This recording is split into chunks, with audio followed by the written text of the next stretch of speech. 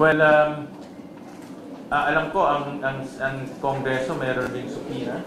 No, ang Senate may supina. Ngayon may warrant of arrest na.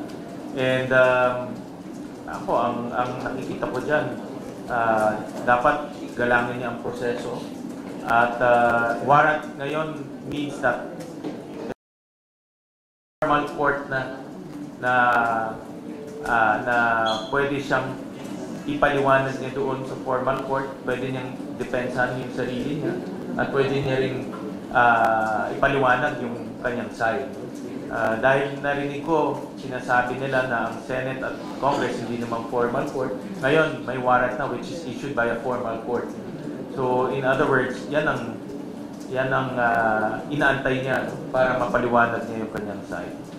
Okay, last? Okay, last question. Hey, Sir, Aaron po. Sir, do you think, um, ano po yung sa tingin nyo, why this is happening to Pastor Kibuloy?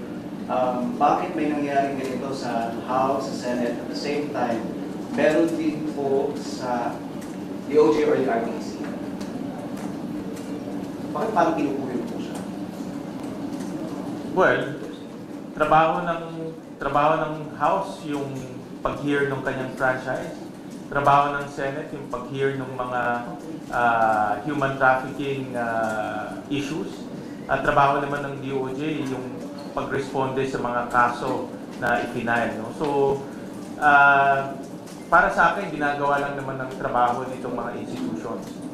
Ah, that's it.